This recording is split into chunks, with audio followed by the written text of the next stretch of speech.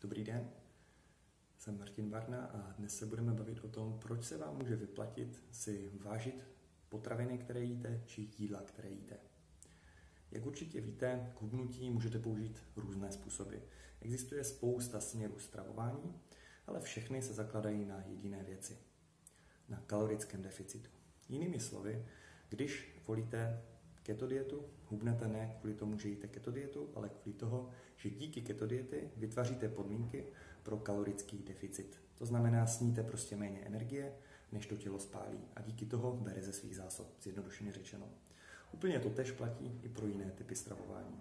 Ať už je to přerušované hladovění, nebo je to třeba low carb, nebo naopak high carb a dalších, eh, další velká spousta směrů.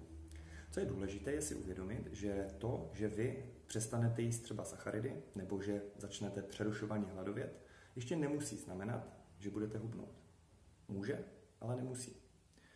To znamená, že já si myslím, že je určitě fajn naučit se nějaké praktické znalosti do toho života, kromě toho, že zhubnete. Proč během té cesty nevyužít toho, že se můžete o tom jídle trošku více naučit? A zajistit si, abyste měli lepší udržitelnost dlouhodobě po dietě, nehledě na to, jakému směru zrovna aktuálně holdujete. To se jednak může měnit a jednak, jak jsme si říkali, co budete vlastně dělat, když přestanete jíst sacharidy, budete hubnout, přestali jste jíst sacharidy, hubnete, jo? A teď přestanete hubnout. Co uděláte potom? Přestanete jíst tuky nebo budete jíst mínusové hodnoty sacharidů? Chápete, co tím chci říct? Tohle není řešení. Tohle je pouze nástroj, který může fungovat a je fajn rozumět tomu, jak to funguje. Pojďme tedy k věci. Dáme si takový modelový příklad.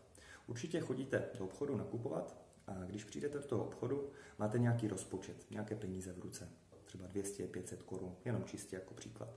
A taky víte, že když v tom obchodě jdete třeba kolem regálu s masem, tak víte, že kuřecí prsa stojí tolik a tolik na kilo. Víte, že láhev mléka stojí zhruba tolik, myslím třeba litr. Stejně tak víte, že třeba ta šunka vaše oblíbená nebo celkově šunky stojí plus minus nějaké peníze, ale jsou velmi podobné ty částky. A pointa je, že určitě jste si všimli, že ty ceny potravin se dají zhruba naučit. To znamená, že vaše maminka, pokud chodíte s ní nakupovat, jste menší, nebo potom vy, víte zhruba, kolik čeho můžete nakoupit, abyste vyšli z toho rozpočtu, že jo? A nepomůže tomu to, že přijdete do obchodu a řeknete si, hm, tak jo, takže dneska si nebudu kupovat žádné potraviny, které mají sacharidy a tím pádem vlastně nemusím řešit u pokladny, eh, kolik budu platit a vyjde mi to vždycky. Nebo ano? Ne, že? A stejně tak nemusí fungovat i to v praxi v rámci hubnutí, protože tak samo, jako všechny ty potraviny v tom obchodě mají cenu konkrétní v korunách, stejně tak všechny tyto potraviny mají konkrétní cenu i v kaloriích. Výhodou je, že ta cena v kaloriích se nemění. Tam nejsou žádné slevy. To znamená, že tak jako asi víte zhruba u potravin, které jíte, kolik stojí korun, a není jich zase tolik těch potravin, protože jinak byste si to asi nemohli pamatovat, ty ceny zhruba. Stejně tak nejíte tolik potravin a tedy je velmi snadné naučit se postupem času, samozřejmě jistou praxí, pamatovat si ceny těch potravin i v kaloriích, tedy v energii.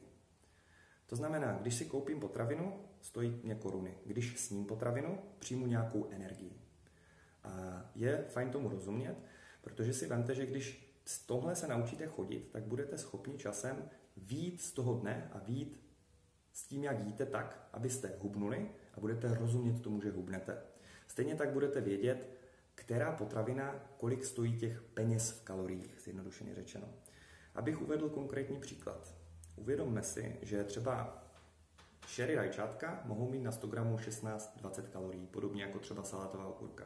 Asi se shodneme, že když nějaká třeba dáma, zase dáme příklad třeba Monika, má 1500 kalorií na to, aby zhubla, je úplně jedno, jestli jede keto nebo jakýkoliv směr, jiný směr stravování, protože prostě to je o těch kaloriích, tak v tom případě, když nezváží nebo nezapíše někde do té aplikace, když si řekněme vede to jídlo a chce hubnout třeba ty šery rajčátka, tak je to celkem jedno, protože 20 kalorií, řekněme, že toho asi nesní tolik kilo té zeleniny, aby to ovlivnilo to její hubnutí.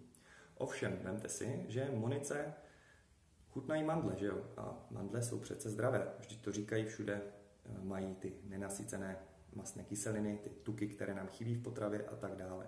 To je možná pravda. Ovšem, pokud si Monika bude, řekněme, psát třeba potraviny, píše si, co jí během dne, ale řekne si, na co bych vážila ty mandle, když si vždycky vemu jenom malou vrstku s ním, to je to přece zdravé, tak co mi to může udělat? A Monika míří na těch 1500 kalorií, aby hubla a hubla by, kdyby je dodržela, ale Monika si dá, řekněme, tři hrsti těch mandlí denně.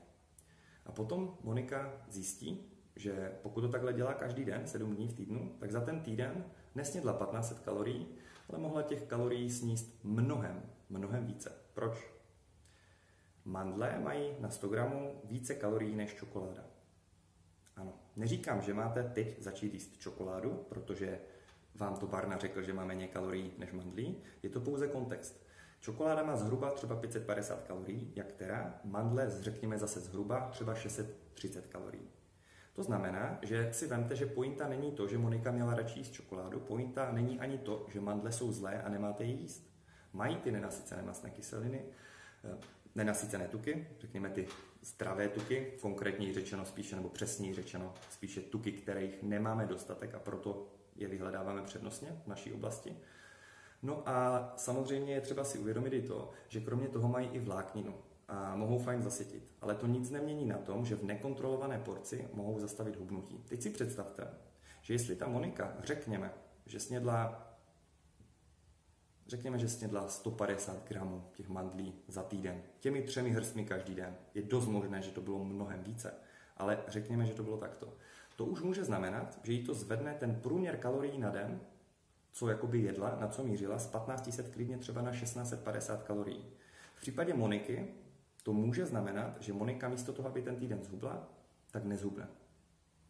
A co je na tomto nejhorší, že Monika, jelikož odmítá tyhle ty věci brát v potaz a vážit, jak jí třeba radí kouč, tak má ten problém, že ona nechápe, proč nezubla a věří, že na 1500 kaloriích nehubne, což není pravda, a začne to snižovat a v podstatě, pokud bude nadále pokračovat v tom trendu, že odmítne zohledňovat všechny ty jídla dne a bude něco zohledňovat a něco ne, tak i když si to sníží níž, tak jí to nemusí fungovat. A co si Monika pak řekne? Aha, se mnou je něco špatně. Já mám pokažený metabolismus, já nehubnu ani pod bazál. Je to samozřejmě nesmysl. Dle studií víme, že lidé jsou nepřesní o zhruba 17 až 70 to tuším bylo. A pointa tedy je, že to, co my si myslíme, že jíme, versus to, co skutečně sníme, je mezi tím velký rozdíl. Já vím, nebudeme nikdy dokonale přesní, ale může to fungovat i když nebudeme dokonale přesní. Tak jako když jste v tom obchodě tak i když nevíte naprosto dokonale přesně, kolik peněz v tom košíku máte, když jdete k pokladně, myslím v ceně toho nákupu, kolik budete platit, tak to můžete vědět zhruba, že ano? A díky toho i tak se můžete vlézt do toho svého rozpočtu. Ať už je to 200 nebo 500 korun. Ať už tam máte sacharidy nebo ne v tom košíku. To samé je to s těmi kaloriemi. To znamená, my se učíme víc toho rozpočtu, my se vzděláváme a snažíme se, abychom byli přesnější. Ovšem, když to víme takhle statisticky, zároveň víme ten příklad, co jsme si řekli, možná nebude od věci, když si ta Monika skutečně bude vážit i ty mandle. Ne do konce života, ale po omezenou dobu a tak jako na základní škole jsme se učili násobilku, nevím jak pro vás, ale pro mě to byl poměrně oprus, ale do dneška jsem vděčný za to, že to ta paní učitelka do mě nabila, protože jinak bych si nespočítal ani nákup v obchodě a to by byl docela problém. Nemluvě o tom, že matematika se obecně hodí. Stejně tak se hodí rozumět tomu jídlu a rozumět, kolik mají ty ceny v kaloriích ty různá jídla nebo ty různé potraviny, které jíme, protože pak s tím můžeme lépe myslet, když víme, kolik máme zhruba ten rozpočet. To se až tak extrémně nemění. To znamená, že Monika, když se tohle to naučí, ano, bude jí to stát nějakou práci navíc pár týdnů, možná měsíců, ale Monika bude mít úplně jinou udržitelnost, protože bude rozumět tomu, co se dělo a pravděpodobně bude mít třeba i menší efekt, protože bude vědět, co má dělat po té dietě. A dokonce, když Monika třeba z keto diety přejde na přerušované hladovění, pořád to pro ní nic nemění. Použije jinou metodu, ale pořád bude pracovat s těmi cenami. A díky toho se Monika může vzdělávat, může se někam posouvat a být časem nezávislá třeba na výživových poradcích. Po případě může využít ty jídelníčky, které vidí na internetu pro inspiraci a použít je individuálně pro sebe.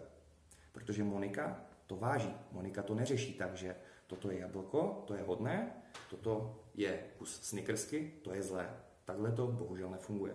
Prostě obojí má nějakou energii a pozor, já neříkám, že je to jenom o kaloriích. Samozřejmě je spousta dalších hráčů ve hře z hlediska zdraví a tak dále. Já se bavím čistě, čistě o hledisku hubnutí A ohledně bílkovin a vlákniny mám už spoustu dalších videí, které si určitě prosím puste, protože samozřejmě je to i o něčem jiném. Ale zase, vemte si další příklad. Třeba klientka Martina. Na první schůzce jsme zjistili, že Martina skoro nic moc nejí a stejně nehubne. Když jsme se dostali k tomu, jaké nápoje Martina konzumuje, zjistili jsme, že pije denně 4 laté ze Starbucks. Latte ze Starbucks, podle toho, jaké mají ty příchutě, příměsi a tak dále, může mít klidně 120 až tuším 260 kalorií. Zase plus, minus. Řekněme, že má 150 kalorií jedno takové laté. Řekněme, teoreticky to připustíme. Když si jedá 4 ta Martina za den, tak to máme 600 kalorií. Jelikož Martina z nějakého důvodu věřila, že tohle se nepočítá, no tak si vemte, že Martina jedla o 600 kalorií více, než si myslela. Samozřejmě se pak nemůžeme divit, že Martina hubla, eh, teda nehubla, nabírala tuk nebo udržovala, ale rozhodně nehubla. Taky se nemůžeme divit tomu, že Martina věřila, že jí pod bazál a že je něco s jejím metabolismem. Když ale toto pochopila, zjistila, aha, to znamená, to neznamená, že mi Martin říká, že to latte je zlé.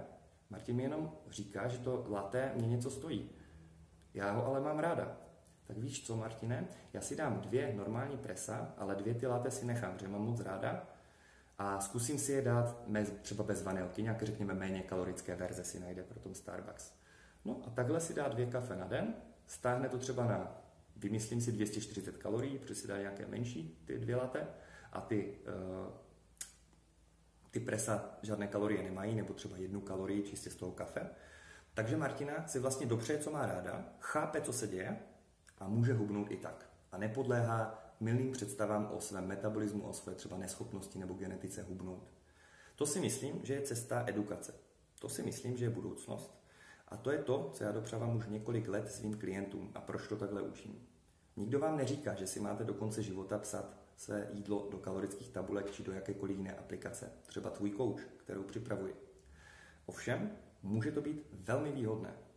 Stejně tak jako i negramotní lidé, kteří neumí číst nebo počítat, jsou živí, mohou být šťastní.